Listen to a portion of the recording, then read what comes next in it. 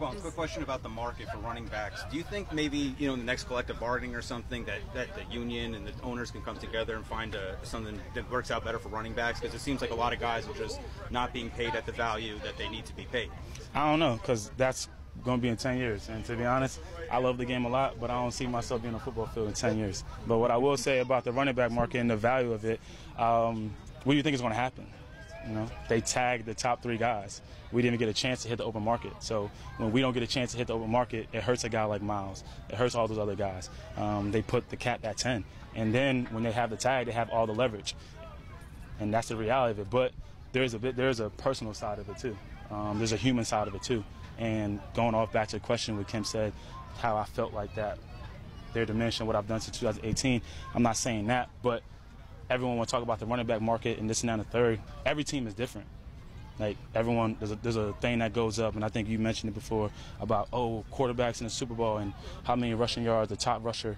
But every team is not like every team. Pat Mahomes is a two-time Super Bowl MVP, two-time MVP, and like this is not everybody have Pat Mahomes, and this is no knock to Daniel Jones, so don't even try to flip like that. And then you look at the Eagles who play Jalen Hurts, a great quarterback. That team is amazing, but every team is not the Eagles. Every team don't have that much talent. And when you come to my situation, come to me personally, I feel like that I helped our team a lot. I feel like not only on the field but off the field. I feel like as a leader, um, I feel like obviously there's conversation of my numbers going down. I think there's a whole lot of other stuff that happened to play NFL. You know, we were a one-dimensional team in the beginning of the season. Um, we were running the ball.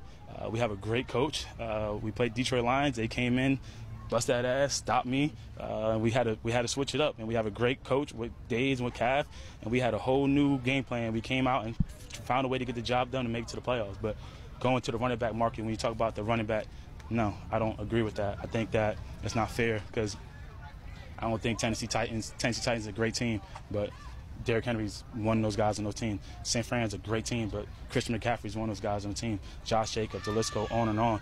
And I think when you talk about the New York Giants, um, you know, I think even Pierce came on and said it. Uh, I, I have a lot of respect in this league, and I think that's how it should be viewed.